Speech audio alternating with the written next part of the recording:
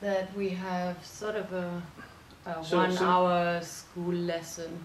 Yeah. Our narrative, okay, our narrative takes place in uh, a one hour school lesson. We have two scenarios. I'm going to take you through the one that's in the US. And it starts with the teacher coming in. Um, we have a math class, and he um, wants to teach the kids multiplication. So we have three types of kids. Um, we have one type that's really good at math, then a group that's okay, they can do it, and one that's challenged, and then they start doing their tasks. And the one group is actually bored because they're ready so quickly. The second one fiddles around a bit, so right, and the third one struggles. And then we have this point of stasis where nobody is actually happy. Teacher is frustrated, kids are not happy. Then there's this new boy in class. He came to um, the US from India with his father, who's a programmer. And um, he has this device, and he introduces that app uh, for magic math solutions to the kids in his class. So they all gather around him, and um, and are totally interested uh, in, in what he's doing there. So he explains what Vedic math is all about and what you, how you can use this device um, to solve those problems that the kids were so bored about when the teacher tried to um, teach this. Um, which also teaches them a bit about the paradox of the globalized world, where actually um, the stereotype of the Indian boy um, is a bit flipped around.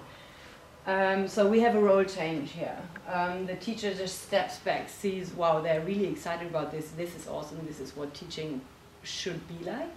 So he observes what they're doing, and they're coming to um, to solve these problems. The student becomes the instructor instructor for um, a period of time and introduces a new learning aid. Um, Shift in archetype. the shift in archetype. Um, the the lesson continues.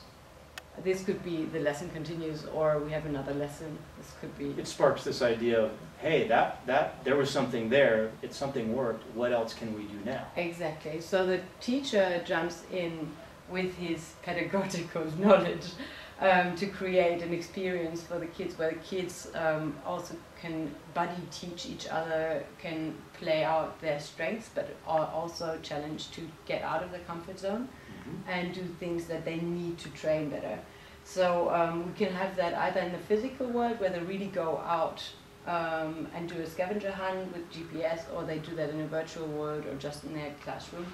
Um, but the basic idea is that the kids split up into different groups uh, and they have to coordinate their actions um, with mobile devices where one group would get a recipe and would inform the other group what kinds of ingredients they need to get and the third group what kinds of pots and pans and whatnot. Um, And each group they need would, to have. and so each group uh, inherently would have people that were doing, sk- performing skills that they weren't normally um, Be uh, comfortable with. be comfortable with. yeah, Right. exactly. The other key point is the cultural difference as well.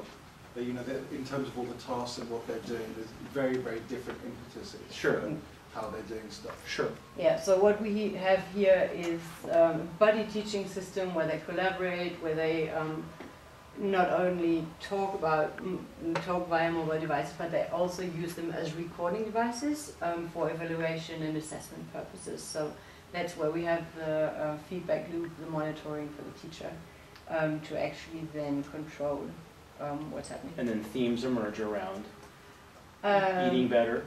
Exactly. We have, um, th- yeah, this teaches a lot of things, not just math, but also eating better, so nutrition, uh, math, and dealing with money um, and organization, problem solving. and stories emerge out of that because there are examples and experiences that emerge. So, for example, eating better as an experience becomes a new story.